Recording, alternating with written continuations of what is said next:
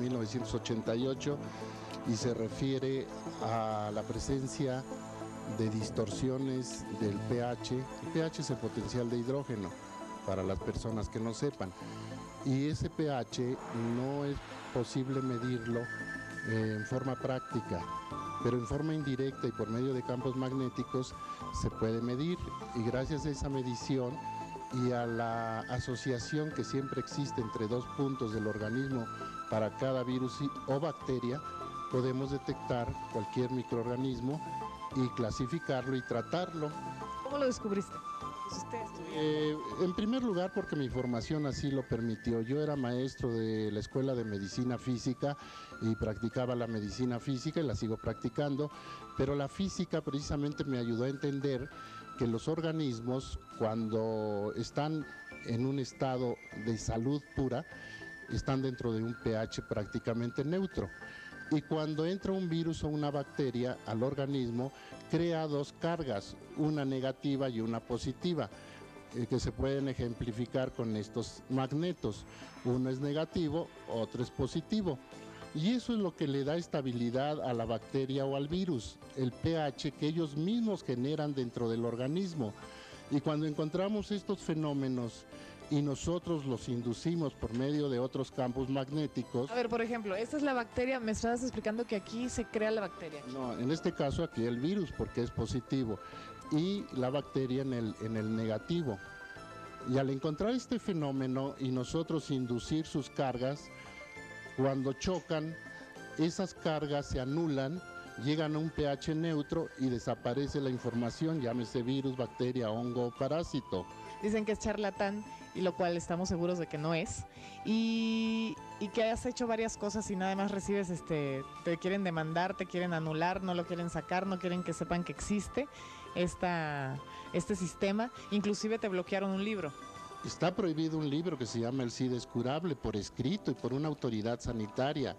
Y en este momento, bajo la orden de un juez federal y de un tribunal colegiado, no me contestan. Yo lo único que quiero es que me digan, no es de nuestro interés este sistema. Bueno, vamos a ver qué haces. ¿Tú te duele algo o algo? Mira, siempre me he considerado una mujer muy sana. De repente tengo, me da mucho cólico, pero pero este señor es impresionante. Ah, sí, le dan cólicos muy fuertes.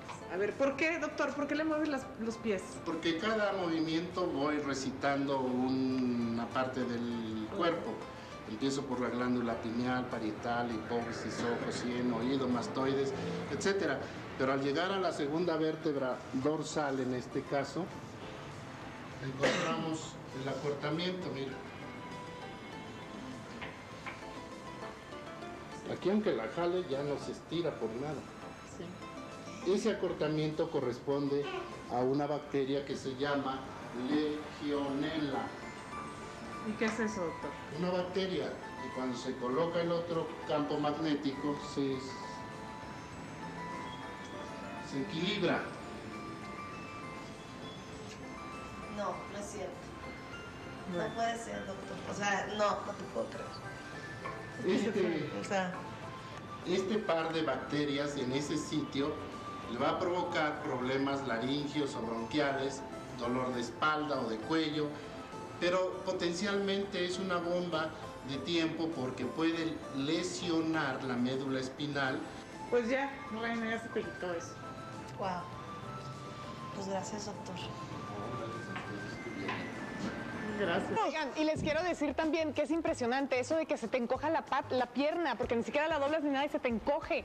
Entonces si dices, pues qué onda, ¿cómo, cómo es posible? Y les quiero decir que no sé si será por el doctor o no, pero conozco muchos casos de veras que se han curado de, por ejemplo, mi hermana no se podía embarazar después, a la semana de que fue con la doctora, una de sus discípulas, se embarazó. Quién sabe si fue por eso o fue por un saludo a su ginecólogo, que también hace mucho esfuerzo y es un gran ginecólogo.